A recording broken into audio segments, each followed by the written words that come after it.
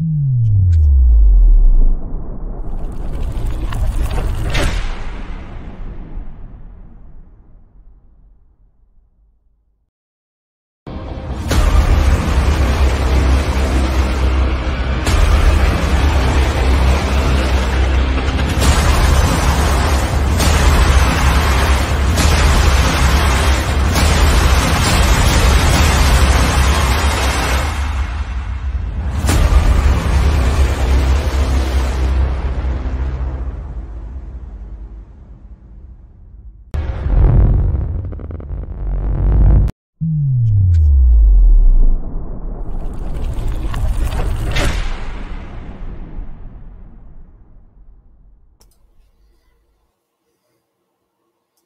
All right. Welcome to Standing for Truth. Uh, this is going to be a video dealing with one of the uh, more uh, technical objections or criticisms to uh, biblical creation. And uh, guys, we're going to get right into it. We're going to get right into the the fun. So what I want to do is uh, share screen here, and um, what we're going to be doing is many of these kinds of shorter videos where we are going to address a lot of the uh, issues and challenges in the creation versus evolution debate. And we are going to offer a, a variety of these kinds of uh, videos that are a little shorter than uh, some of the other videos we have focusing on this topic. For example, we have specifically dealt with this topic numerous times, uh, recombination rates, but we want to start taking some more of these, uh, some of these technical topics and uh, just offer the audience uh, shorter videos that essentially deal with these. And so you can easily refer to them when the uh, when the critics who are really really good at uh, repeating already debunked talking points when they bring it up you can just show them uh, this video so essentially this argument itself the, the critics claim that there has been too much recombination to explain the origin of humanity in just thousands of years. Okay, the biblical model of ancestry would uh, start from the Bible. The Bible claims to be the history book of the universe, and uh, Genesis tells us that God created two people, Adam and Eve, just thousands of years ago.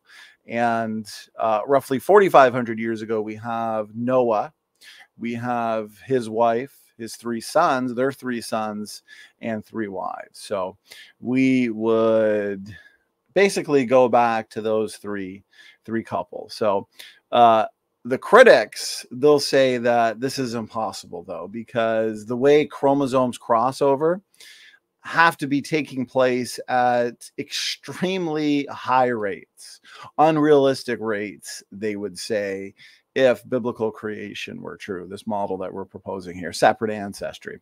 And um, a lot of this crossing over that, that creationists require is unrealistic to the point where they feel they can just kind of hand wave all of the amazing evidence that we do have for the design diversity hypothesis or the created heterozygosity model that we typically uh, talk about and, and discuss here. Now, um, what the creationist needs is recombination rates orders of magnitude faster than is actually observed today. And basically, the argument boils down to this, guys. Okay. There is no way to account for all of the various combinations that exist today in just roughly four to 7,000 years. And we're going to deal with that this here in about uh, 20 to 30 minutes worth of, of video. So let's get right into it. And uh, I do want to point out though, that the endogenous retrovirus handbook, dismantling the best evidence for common descent, it is um, uh, I'm delighted to say that it is it's pretty well done. We we've sent it in for um, the first round of publishing. It, it came in nearly at uh, 200 pages, guys. This book leaves no stone unturned. Okay, as you can see here in the uh, the cover and and the back of the book, of course, uh, we are going to be answering the best challenges that the critics have to offer, the evolutionists have to offer on this on this topic. What best explains ERV-like sequences found at the same locations in the genomes of different organisms? Why do ERV elements resemble viral genetic material? What is the best explanation for the nested hierarchical distribution of endogenous retroviral like sequences in primate genomes, including the uh, distribution, the nested hierarchical distribution of the so called mutations found in the structure or the properties of the ERV sequence themselves. So we are going to be dealing with that, both uh, forms of the nested hierarchy argument in this book. And uh, ultimately, and most importantly, can the separate ancestry model explain endogenous retroviruses better than common descent? The answer is yes. Um, this uh, book, the conclusions in this book, the testable predictions that I make have massive implications for the origins debate, the question of ancestry. And the critics are going to have a tough time with this because they're going to have to present a more superior model. And uh, these these main challenges listed on the back of the book uh, these are not the only ones I deal with this in this book. It's incredibly comprehensive, and uh, a, reason why I bring it up is because uh, one chapter in this, highly comprehensive, is on the design diversity hypothesis. And um, I do deal with this argument in the book in great detail, actually, because it is really their their number one argument against design diversity. So I thought it was important to spend some time on it in the book and so when this comes out on June 1st, um, make sure to uh, check out that section. Tons of references for you as well. And uh, since it's just a few of us here at the ministry, we've been pretty well focused. Matt's also uh, uh, got a book he's working on. And so the last uh, month, we haven't had as many streams as we usually do, uh, mainly because it was uh, of utmost importance that that we put all our focus, specifically myself, all my focus on on this book, and it was worth it. So, guys, we are putting out uh, content full time because of the uh, book here, which is pretty well done in publishing. Uh, we haven't been able to do that many streams, and so if you want to, if you want to be a, financial backer for uh, Standing for Truth Ministries, check the description box. Uh, for as little as a dollar a month, for example, on uh, Patreon, you can be a Standing for Truth Ministries patron and there's tons of exclusive contents there. You can also go to the uh, official website, standingfortruthministries.com, and you can uh, help support us there. So here is the uh, secondary cover. This is for the uh, colored version of the book because we got some cool images. Um, Benjamin, who's done uh, previous work for me on uh, other books, and of course the famous uh, superhero SFT logo. He's done another uh, phenomenal job here, and we've also got some cool custom Im- images in, in the book. So, uh, yes, that book does give the fatal blow to uh, to endogenous retroviruses as evidence for common descent. Okay, so let's just get right into it then. Recombination rates, debunking the critics, guys. Um, what you're going to want to know as we move forward addressing this argument is what is recombination? Okay, recombination is a process by which pieces of DNA are broken and recombined to produce new combinations of alleles. This recombina- recombination process creates genetic diversity at the level of genes that reflects differences in the DNA sequences of different organisms. Um, if if you've been following this channel for for a while, you know that we uh, look to recombination in the design diversity model because uh, the design diversity model would would essentially suggest that Adam and Eve and, and the original created archetypes would have been front loaded with pre-existing DNA diversity and functional DNA elements, various classes of functional DNA elements, and these uh, endogenous retroviral like sequences would fall into those classes of of created units of, of DNA function. And since the, the creationist model would say that the majority of DNA diversity, the majority of DNA differences that we see within species and across species were built in at creation. That means the creation model doesn't need millions and millions of years to build up the necessary genetic diversity for processes like recombination and gene conversion to become effective. The evolutionist requires mutations over time. A mutation adds genetic diversity because it's adding something that was not previously there. So over time, species build up these DNA differences as a result of mutation, and uh, re- recombination can lead to new chromosomal uh, uh combinations.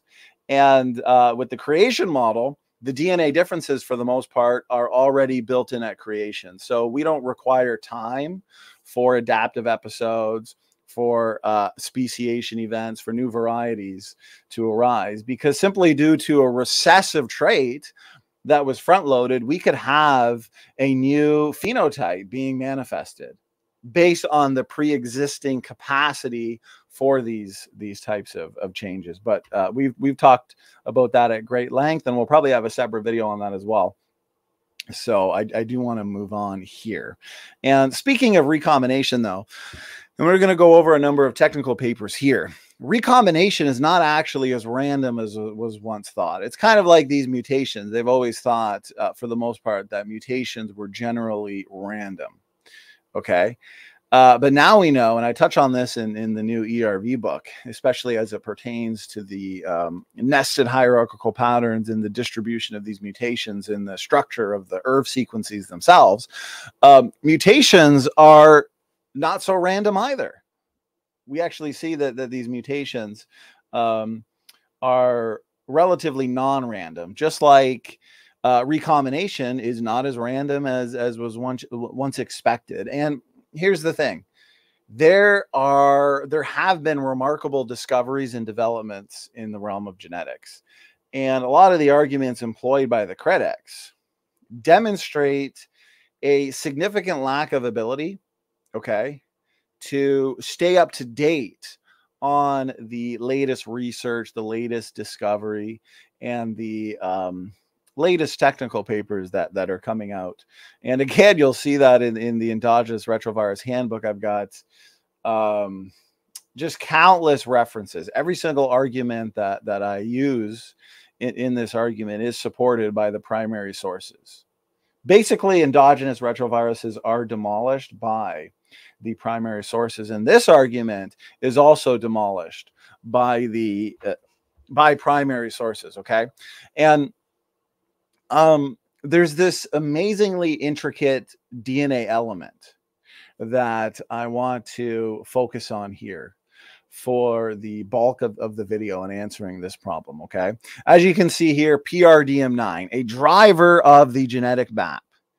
Okay. This is very interesting here, this uh, specific excerpt from this, this paper. Most, if not all, Meiotic recombination events are controlled by what?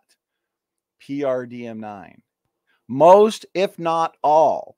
Okay, this is going to be important to consider as, as we move on here because the PRDM9 enzyme, okay, it's designed to look for a specific set of, of letters on the chromosome. Okay, so what it does is it uh, it looks for these letters, it grabs onto it, and then it recombines. And focusing here on the PRDM9, we actually know that, which is why I want to go to the next slide here. We actually know that Africans have more of these sites than Europeans. We understand that the PRDM9 DNA elements are drivers of what? Of genetic landscapes. Okay, notice this paper here the landscape of recombination in African Americans. We have shown that the PRDM9 alleles that bind a novel 17BP motif and uh, occur at greatly increased frequency in people of West African ancestry have led to a shift in the recombination landscape compared with people of non African ancestry. The larger number of hotspots available to West Africans implies that at the population level, crossovers are more evenly distributed than in Europeans, and thus the shorter extent of West African linkage disequilibrium is not due to uh, differences in demographic history alone, such as the lack of an out of Africa founder event. So, this entire argument employed by the critics and um, most of the arguments as they pertain to out of Africa versus out of Babel, which I've dealt with extensively on this channel in books and in articles, are um, based on a number of really faulty and erroneous assumptions. Okay, we know from the technical literature that the PRDM9 gene regulates, controls, and influences recombination through hotspots. More recombination per generation means a population has the capability of holding or retaining more diversity. Populations undergoing more recombination will consist of what? They will consist of more pieces of DNA. Okay. If you have population A and population B, and population A has more fully operational PRDM9 DNA elements, okay, then that population, like we see in Africans, are going to be able to harbor more levels of genetic diversity. And defenders of evolutionary theory, critics of biblical creation, they will then look at what appears to be a lot of recombination over time, okay? And wrongfully assume that this is a reflection of age, of deep time, when in fact it's not, okay? It's due to the amount of recombination. And again, here, this is an important paper to consider that Africans generally have more of, of these sites and hotspots than than Europeans. Okay, so let's move on here. PRDM9 gene and recombination. One thing I want to point out, though, that, that kind of just came to mind is this is such a, a funny argument to me because what we actually know is within the, the human genome, there exists massive, massive blocks of DNA, these massive linkage blocks that appear as if they've never been recombined. Okay, they are largely intact. Now, wait a minute. If we've been evolving for millions and millions of years, where you know you, you start with the Australopithecine, Australopithecine-like ancestors, up to um, you know Homo habilis, up to Homo erectus, who you know uh, lives all over the globe for for a, a, million plus years, and then eventually, you know, Homo sapiens, sapiens, and then eventually uh, people spread out in, in all parts of the world. Well, that's millions of years, basically, of uh, mutations accumulating every single generation. Okay. Mutations adding genetic diversity because, as we covered earlier, a mutation adds something that was not previously there. It's adding genetic diversity. Now, is it beneficial diversity? No. It's uh, harmful diversity in the sense that it's the type of uh, variation you get on your car when over time the car rusts out. Or you just got a brand new car and you drive off the lot and you go park at the grocery store and you want to pick up some groceries for the family and the person next to you opens the door smacks it into your brand new car and now you got a nice dent well sure you know that dent has uh, created variation in your car but it's not beneficial uh, variation the type of variation you get basically from uh, mutations is the the rust marks, the dings, and the dents that, that you get on your car. Okay, but nonetheless, these mutations are still adding genetic diversity. But every single generation, you are getting recombination. Okay, so you're getting a scrambling of, of these DNA variants each generation. And so today we wouldn't expect to see these these large linkage blocks relatively intact, showing evidence that they've never recombined in, in the first place. Okay. This actually speaks to the youth of the genome. Evolutionists can't explain this. Okay. Evolutionists look to a post hoc, ad hoc uh, story, this uh, hypothetical out of Africa population bottleneck that doesn't work. They use that to explain why humans today have uh, such low genetic diversity. Every single human being, 99.99% uh, similar when it comes to uh, why there there appears to be a lack of recombination. If deep time evolution were true, you know they'll look to this idea of cold spots and hot spots within the genome in terms of recombination. and um, which has a, a, level of truth to it. But nonetheless, given what we still see in terms of these largely intact uh, blocks of DNA, it's more of a problem for the evolutionist, the deep time evolutionist, than it is for a young Earth creationist. So, where they say we have a problem, the point I'm trying to make is they're the ones that have a problem. The initial discovery of PRDM9's role in the recombination process, determining the location of recombination hotspots in many mammals, including humans and mice, opened intense study of this protein's properties and functions. We now understand that during meiosis, PRDM9 binds DNA at particular recognition sequences. Remember, I was talking uh, earlier how uh, this uh, very intricate DNA element, okay, this PRDM9 enzyme, it looks for a specific set of letters on the chromosome, it grabs onto it, and then it, recombines, leading to um, genetic diversity. So, uh, th this is very interesting to know that recombination is not as random as as was once thought. Okay, and uh, here reorganizes the local chromatin environment by methylating adjacent nucleosomes marks hotspots for eventual DSB formation, facilitates the translocation of activated hotspots to the chromosome axes where DSB formation occurs. And this is then required to assure proper repair of the DNA breaks.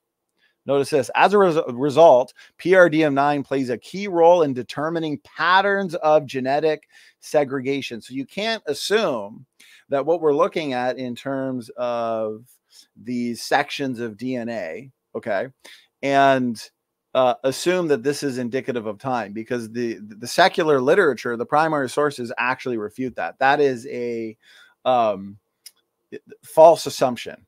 Okay, there are a lot of factors at play when it comes to levels of genetic diversity, when it comes to um, recombination events. So again, PRDM9 plays a key role in determining patterns of genetic segregation and linkage, as well as influencing the possibilities for chromosome reorganization over successive generations.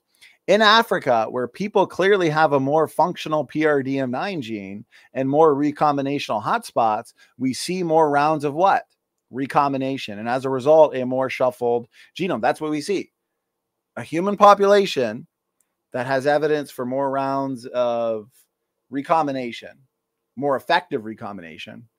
Okay, they have higher levels of ge- genetic diversity generally than non Africans, and yet they have more of these sites. Okay, more of these these hotspots. Okay, let's keep going. PRDM9, an essential DNA element in recombination.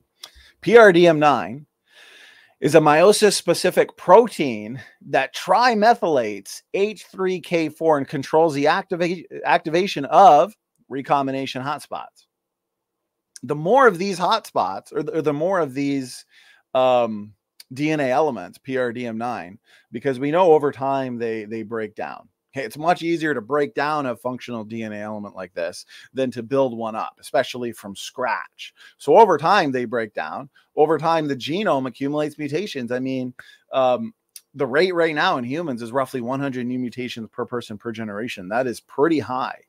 Um, some estimates are even more. Disruption, notice this. This is where we get into it. Disruption of the PRDM9 gene results in sterility in mice. So when you actually disrupt these these sites due to mutations, they they have harmful effects.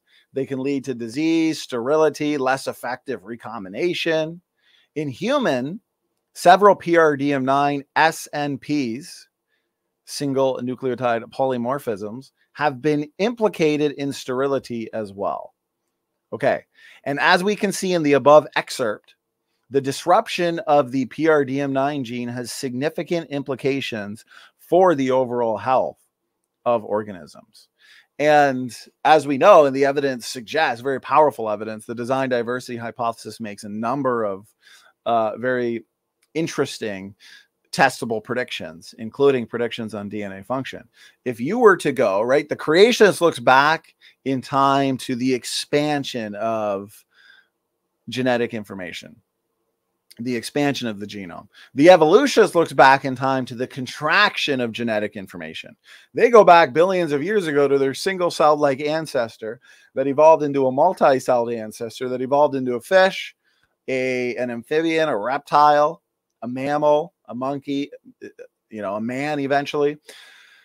So, uh, evolutionary uh, theory requires mutations over time, adding genetic diversity and genetic variation. Natural selection can act upon this genetic variation, or according to them, neutral mutations can build up and act as a hidden reservoir of, uh, you know, uh, novel change that um, epigenetics obviously comes into play as well. Um, but for another day we'll, we'll, we'll touch on that. But the creationist looks back to the expansion of genetic information. So at creation you have the most heterozygous ancestors. When you start with heterozygous ancestors that means you start with the potential the pre-existing capacity for novel phenotypic change okay? Massive uh, capabilities for uh, a wide range of morphological adaptability um, chromosomal uh, combinations, new chromosomal combinations can can come about quickly. So you'd have a, a greater amount of uh, heterozygosity.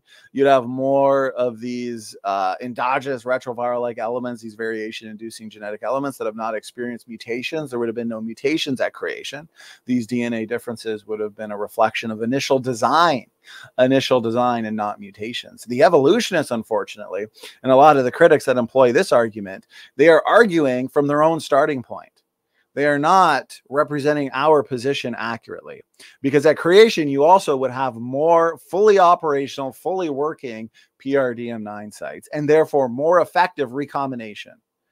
Okay, gene uh, conversion itself would be uh, more effective as well. We know gene conversion helps in, in breaking up these these variants okay and it would be expected based on our model that god would have front loaded these design dna variants in areas within the genome that can experience effective recombination and scrambling that would lead to uh, novel diversity, genetic diversity, really in a, in a single generation. Okay. And um, for people who um, are new to this channel, when I use the word heterozygous or homozygous, um, created heterozygosity just means a state of DNA diversity. And the technical uh, definition of the word heterozygous is having two different alleles of the same gene or locus. Uh, locus or, or, loci would be a, a specific location uh, in the DNA itself. And then homozygous is having two of the same alleles, the, the, the identical alleles in the um, of the same gene or or locus. So um, created heterozygosity would mean that the original created archetypes would have been um, designed with pre-existing levels of DNA diversity, hence the uh, design diversity model. So um, let's kind of let's kind of recap a little bit. A larger gene pool at the creation in the pre-flood world, especially because at the flood we have a genetic bottleneck. At Babel we have a bit of a bottleneck as well, which would reduce levels of heterozygosity, not as much as the critics say, because it was a one generation bottleneck followed up by rapid and exponential population growth. So very limited or very little of that original heterozygosity would be would be lost. But nonetheless, the pre-flood world, and obviously the closer you, you get to creation, you're going to have a, a more expanded uh, gene pool and uh, more healthier genes overall since mutations have not accumulated as much as mutations have, have accumulated today and as a result have eroded a lot of these uh, PRDM9 sites. And unfortunately, I, have even seen um, some from our, our own side who should know better, some creationists who should know better. They've been studying this for years and years and years. But unfortunately, there are some creationists that uh, would rather concede what seems to be every single point to the evolutionist. And uh, one specific critic brought up this argument. You know, there's no way for, according to the design diversity model, for uh, biblical creationists to account for the number of recombination events or, or crossover events, I should say, that uh, have occur- occurred uh, seemingly when when examining the genome, and yet we have a, a a very ready answer, a very strong answer that that leads to uh, predictions and retrodictions. And it's the evolutionist that has the greater problem, since there doesn't seem to be enough scrambling. If we've been evolving for millions of years, then the genome should have been scrambled into nothingness. And yet we still see these large blocks of DNA that are intact to the point where they look like they haven't experienced any recombination in the history of, of, of this planet. Okay. So this argument, it just, it, it doesn't work it doesn't work. A, a greater gene pool, more uh, fully operational PRDM9 sites, because we do know that mutations break them down over time. We know that today Europeans have less than Africans, for example. And um, that would mean more effective recombination, more SNPs of DNA uh, throughout the genome. Okay, so that doesn't automatically insinuate that we're dealing with deep time here that this population has uh, been around longer. And it really is just an unsophisticated argument. And it doesn't consider the fullness of the technical data that we've been going over here. Here's another uh, couple technical papers you can look at. Recombination regulator, uh, PRDM9 influences the instability of its own coding sequences in human. Um, here's another one that deals with uh, the recombination hotspots. And uh, here's an important slide as well from this paper, PRDM9 and its role in genetic recombination. Guys, these sites have broken down over time. Mutations are accumulating, and the evidence suggests, and I, uh, there's going to be no question, no doubt in the um, objective reader's mind when they read this new book that's coming out on endogenous retroviruses, there will be no doubt that uh, the entire junk DNA paradigm is dead. I deal uh, comprehensively and technically with all their best so called arguments, objections, criticisms, the ones that want to maintain this indefensible junk DNA paradigm, indefensible and I deal with it in great detail. Like I said, it's it's roughly 170 pages. This book, dozens and dozens of, of technical uh, papers, and it really does uh, demonstrate why uh, the junk DNA paradigm is is bankrupt. As a result, endogenous retroviruses are refuted since they are part of the uh, greater junk DNA argument, and uh, common descent just completely overturned. Separate ancestry is making the best uh, testable predictions and testable predictions that are uh, confirmed more and more every day, especially in the world of DNA function. So, uh, PRDM9 influences the possibility of genetic exchange, genetic exchange by determining the locations of meiotic recombination hotspots in most mammals. Remember the um, the paper earlier that we uh, cited right here. PRDM9, a driver of the genetic map, and yet they want to look at these genetic landscapes of different populations and conclude that based on the genetic landscapes of let's say uh, african populations they are older when in fact that is not indicative of age. And there's a number of factors that they're not considering here. Most if not all meiotic recombination events are controlled by what? PRDM9 and it just so happens to turn out that Africans have more of these. Notice this the larger number of hotspots available to West Africans implies that at the population level, crossovers are more evenly distributed than in Europeans. And another thing, too, is as you have uh, people groups moving into Africa after um, the Babel event, if you have people groups moving into Africa that have more fully working, fully operational PRDM9 sites, and um, more of these hot spots as well for the uh, PRDM9 DNA element to uh, look for, grab onto, and recombine, leading to more and more uh, scrambling and, and DNA diversity, then guess what? The African genetic landscape is going to have a, have a different manifestation than non-African genetic landscapes, and that's exactly what we see when we compare um, Africans and non Africans. To do so, it uses its zinc finger array to bind specific DNA sequences. Pre existing chromatin structure influences which of PRDM9's DNA binding sites are available for use in vivo. So, again, PRDM9 and its role in genetic recombination. So, what I'll do, guys, is um, put some of these papers in the in, in the description box. Um, this is an argument that that's uh, repeated. This is an argument that has been invalidated. And um, what I want to do is is is focused more on on these kinds of uh, challenges and arguments to our uh, position, and I will um, put together more presentations like this. Keep them between uh, you know 30 45 minutes and um, I'm looking at the time here, and we're just at the 35 minute mark, guys. So share this around. The truth is important. Even their very best technical challenges, criticisms, arguments to the biblical model of ancestry, um, they have answers. And uh, sometimes you just got to seek them out. And that's what we are here to do at Standing for Truth. Uh, we focus on defending the truth of biblical creation. So, everybody, God bless. Thanks for tuning in. And I hope you enjoyed this video.